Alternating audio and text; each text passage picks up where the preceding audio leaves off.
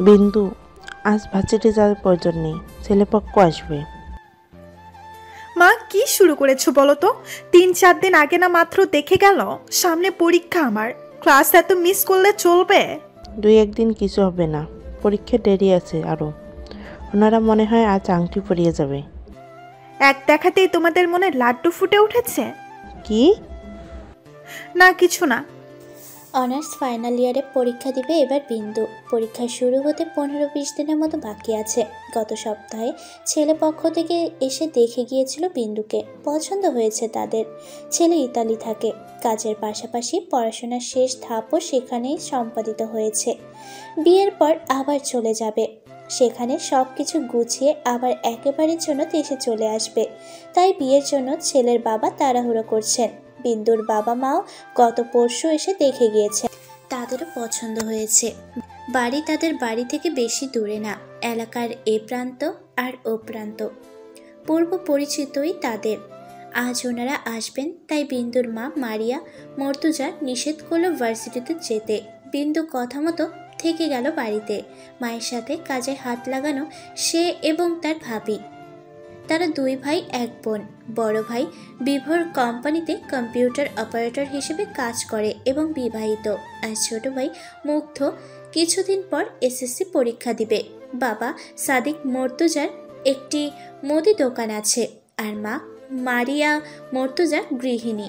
কাজকর্ম শেষ করে বিন্দুকে তৈরি করে দিল তার ভাবি ইতি। গোলাপি রঙের একটি লেহেঙ্গা পরিধান করেছে বিন্দু। কপালে ছোট সাইজের একটা টিকলি পড়েছে, কানে দুল আর হাতে ব্রেসলেট।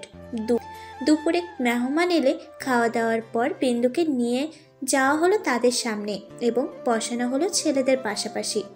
এই আইডিয়াটা ছিল ছেলের ছোট বোন শীতুলের। বিন্দুর খুব অস্বস্তি লাগছে এখানে বসে।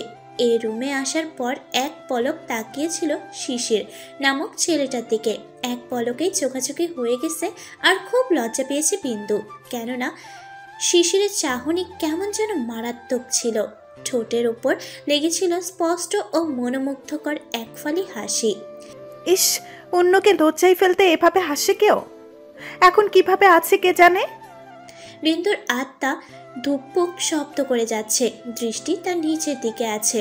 শিশিরের মা আফসানা ফেরদৌস বিন্দুর অন্য পাশে বসে থাকা শীতুলকে উঠিয়ে দিয়ে নিজে বসে পড়লেন। বিন্দুর সাথে টুকটাক কথা বলে তিনি নিজ হাতে একজোড়া পালা পরিয়ে দিলেন, অতপর শিশিরের কাছে আংটি দিলেন পরিয়ে দেওয়ার জন্য।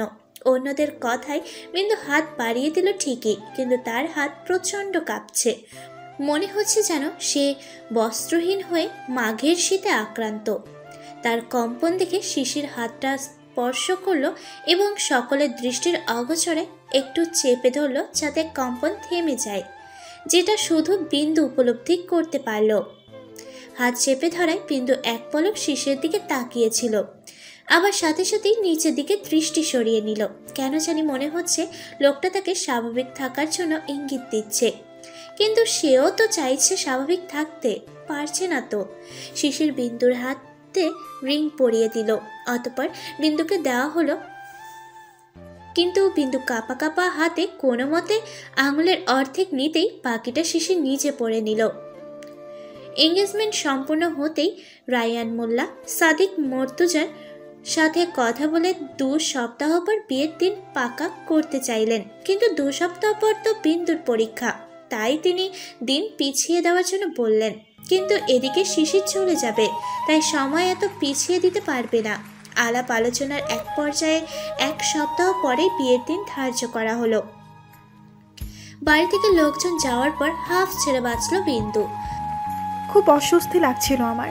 সবচেয়ে বেশি অস্বস্তিকর ছিল ওই শিশিরটা। কীভাবে তাকাই কীভাবে হাসে, কীভাবে এত সুন্দর করে মিষ্টি ভাষায় নির্ভয়ে সকলের সাথে কথা বলে।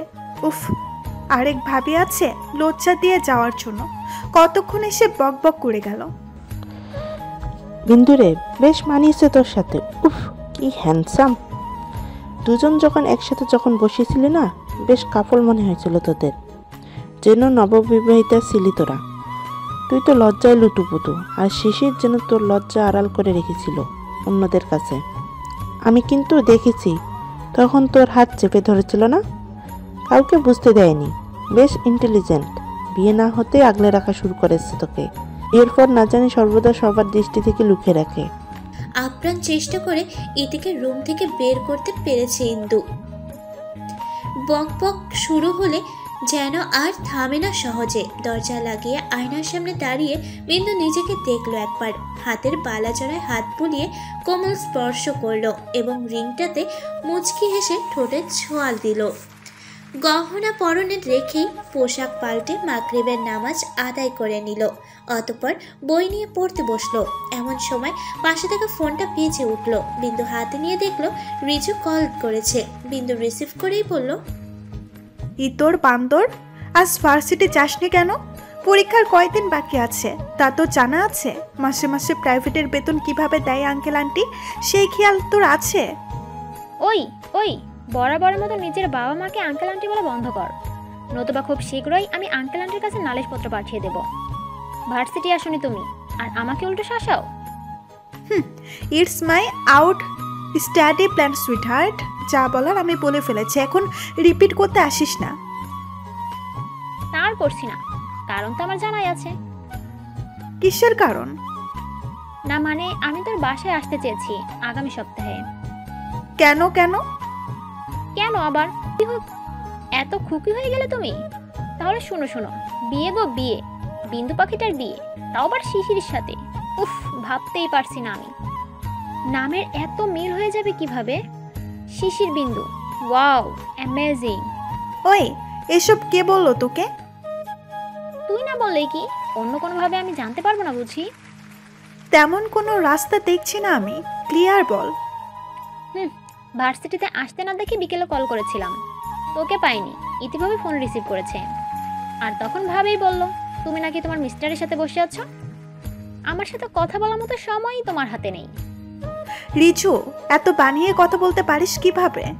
ভাবি নিশ্চয়ই এভাবে বলেনি তুই খুঁটিয়ে খুঁটিয়ে ভাবির মুখ থেকে কথা বার করেছিস। ওদিকে রিজু অট্ট হাসিতে ফেটে পড়ল তাই বিন্দু বলল আমি পড়তে বসেছি। তোর জন্য আমার গুরুতর ডিস্টার্ব হচ্ছে। স্যার কি করিয়েছে আমাকে ইনবক্সে দিয়ে দে। আল্লাহ হাফেজ। বিন্দুর সাথে সাথে কল কেটে দিল। রিজু আবার কল করল। বিন্দু রিসিভ করে বলল আবার কি?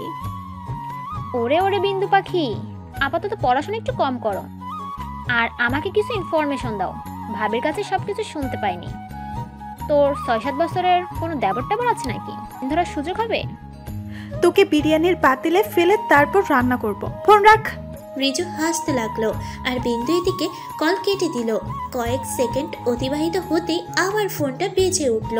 বিন্দু রিসিভ করে জোর গলায় বলল রিজু জবাই করে ফেলব তোকে। বারবার বলছি আমি পড়তে বসেছি আর আমার ডিস্টার্ব হচ্ছে। চুপচাপ নোট সেন্ড কর ইনবক্সে। উপাস থেকে নরম কণ্ঠ ভেসে এলো। শিশির বলছি। কিসের সে বিন্দুর সাথে সাথেই ফোন কান থেকে নামিয়ে স্ক্রিনে তাকিয়ে দেখল অচেনা নাম্বার। সে জিভে কামড় দিয়ে কপাল চাপড়ালো। উফ বিন্দু তুই না দেখেই ফোন রিসিভ করেছিস কেন? তাছাড়া উনি ফোন নাম্বার পেল কোথায়? তার ভাবনার ছেদ ঘটিয়ে ওপাশ থেকে বলল হ্যালো কেউ কি শুনতে পাচ্ছে আমার কথা? জি জি আসসালামু আলাইকুম। ওয়ালাইকুম আসসালাম। কোন করার সাহস আছে তোমার মাঝে হ্যাঁ? থাকলে আজ থেকে দূর করে দাও। আমি কিন্তু জেলখানাকে ভীষণ ভয় পাই। তুমি কাউকে জবাই করলে তো কারাগারে আমাকেই বন্দী হতে হবে। আমার লজ্জা লাগছে খুব। নিজের উপরে রাগও হচ্ছে। ফোন নাম্বার না দেখেই বক বক শুরু করছি। এখন কি ভাবছে উনি? বিন্দু জোরপূর্বক নিজেকে স্বাভাবিক করার চেষ্টা করে বলল না আসলে তেমন কিছু না। ফ্রেন্ড বারবার কল দিয়ে দুষ্টুমি করছিল। তাই বলছিলাম খেয়াল করিনি আপনার নম্বর থেকে কল এসেছে। আমার নম্বর কি সেভ করার নাকি?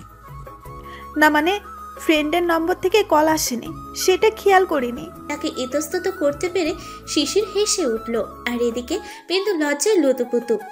শিশির বলল ও আচ্ছা যাক ভয় থেকে বেঁচে গেলাম। তাছাড়া ফ্রেন্ডদের এমন হুমকি দিলে নোট পাবে কি করে? হুমকি দিলেই কাজ দ্রুত আদায় হয়। তাই নাকি? আমাকে এভাবেই কাজ করানোর প্ল্যান করেছ রাইট বিন্দু কোনো উত্তর দিল না। কি উত্তর দিবে? লোকটা যেই ধাঁচের কথা বলে যাচ্ছে, যেন ইচ্ছে করেই তাকে লজ্জায় ফেলতে চাইছে।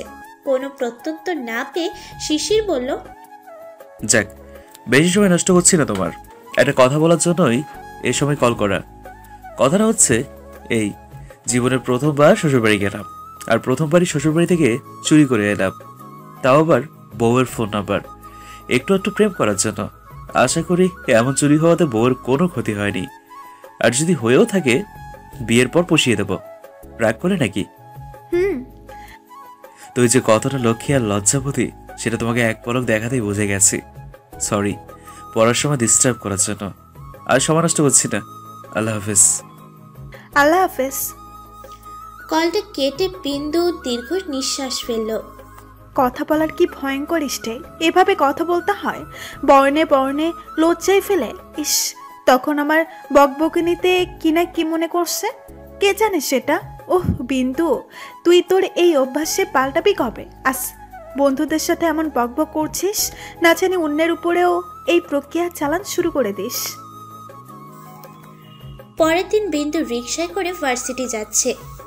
মাঝপথে থাকাকালীন হঠাৎ করে কেউ চলতি রিক্সায় লাফিয়ে উঠে বসে পড়ল। বিন্দু চমকে উঠেছে। ভয় পেয়ে প্রায় অন্যদিকে হেলেও পড়ছিল। সাথে সাথে লোকটা তাকে টেনে সোজা করে বলল আরে এখনই তো পড়ে যেতে। এত ভয় পেয়ে গেছো তুমি?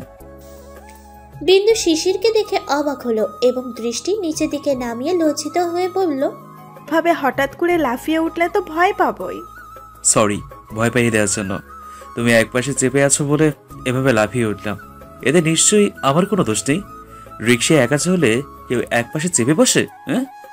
পাশের সিট ফাঁকা থাকলে তো যে কেউ দখল করে নেবে। সব সময় মাঝামাঝিতে বসবে। ওকে। শিশির একটা হাত বিন্দুর পেছনে রেখে গা ঘেসে বসল। বিন্দু খুব অস্বস্তি বোধ করছে। লজ্জাও লাগছে খুব। এই লোকটাকে দেখলে এত লজ্জা কোথা থেকে আসে তার নিজেরও জানা নেই।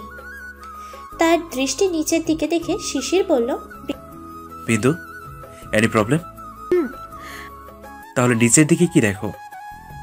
আমাকেও তো একটু দেখতে পারো। বিন্দুর ঠোঁটের কোণে ফুটে উঠেছে লজ্জাময়ী হাসি। সে মাথা তুলে শিশিরের বিপরীতে অর্থাৎ ডান পাশে তাকিয়ে মনে মনে বলল আপনাকে আর কি দেখব? এক পলকেই মুখস্থ হয়ে গেছে। লাল একটা টি শার্ট পরেছেন।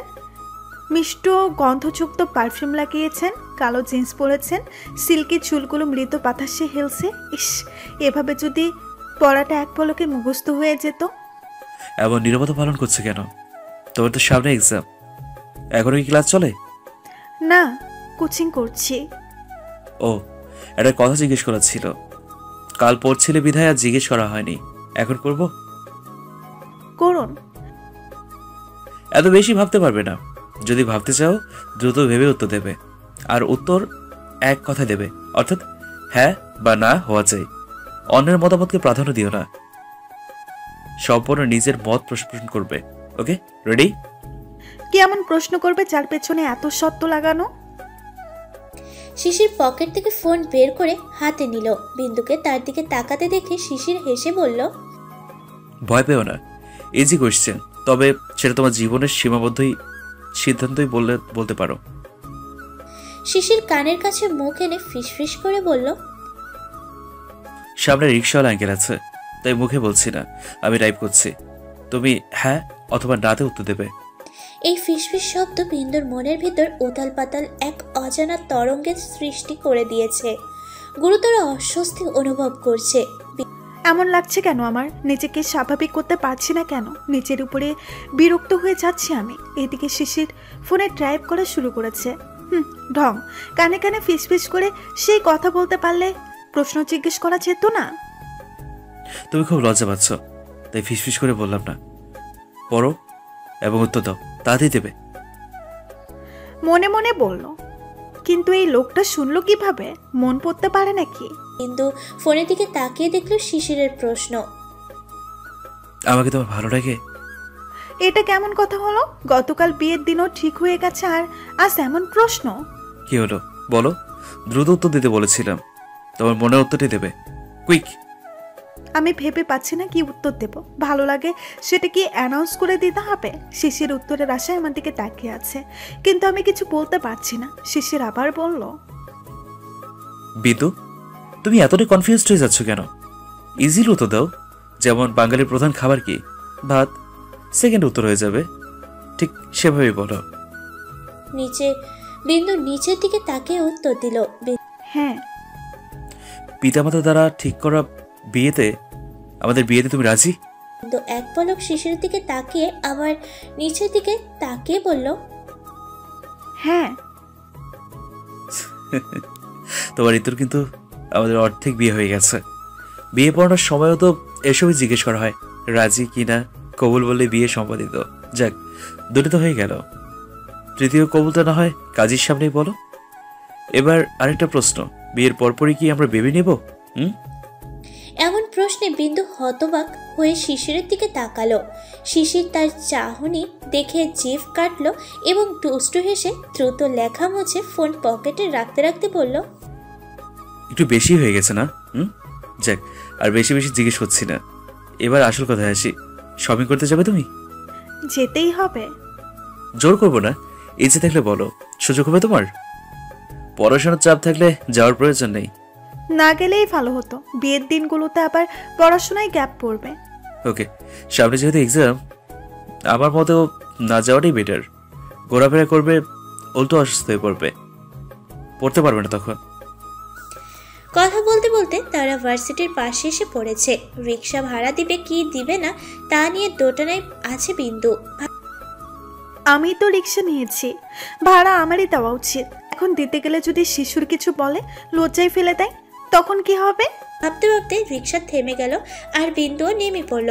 শিশির রিক্সায় বসে আছে। বিন্দু নেমে ব্যাগের চেন অর্ধেক খুলছে আবার লাগাচ্ছে। তা দেখে শিশির বলল ভাড়া দেওয়ার চিন্তা করছ? বিন্দু দ্রুত ব্যাগের চেন ছেড়ে দিয়ে একটু হেসে বলল না আপনি কি নামবেন না? তুমি বলে যেতে পারি। স্যার ক্লাস করবে তো তা আমাকে নিয়ে?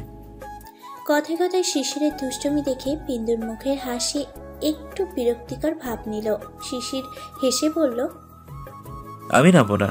বাসা যাব এখন। যাও তুমি। আর যাওয়ার সময় সাবধানে যেও। যেতে না পারলে আমাকে একটা কল করো। আর রিক্সায় একা উঠলে মাঝামাঝিতে বসো। আল্লাহ হাফেজ। আল্লাহ হাফেজ।